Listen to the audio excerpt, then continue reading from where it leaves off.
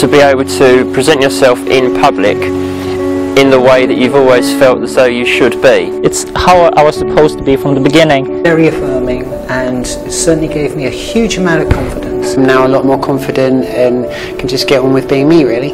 Present to the rest of the world as I see myself. I don't have to introduce myself all the time as actually I'm a woman. Now people see it. Certainly it's reassuring and lovely when um, people address me as female. Just going outside and being who I am. Not being questioned in my identity as a woman. Una tranquilidad y una seguridad eh, en todo. It's even given me the, um, the strength and the, um, the beliefs that I can actually change my job as well. My whole life has, and the interactions that I have with people has just changed dramatically. So happy and um, full of confidence. I was never called sir again by a stranger. I don't, I don't think people even bat an eye that I'm a guy anymore. Foi um dos maiores investimentos que eu já fiz na minha vida.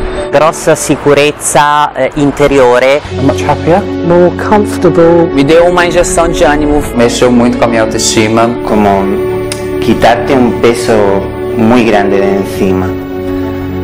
Y hasta que no te quitas ese peso, no te das cuenta de, que, de lo que necesitabas quitártelo.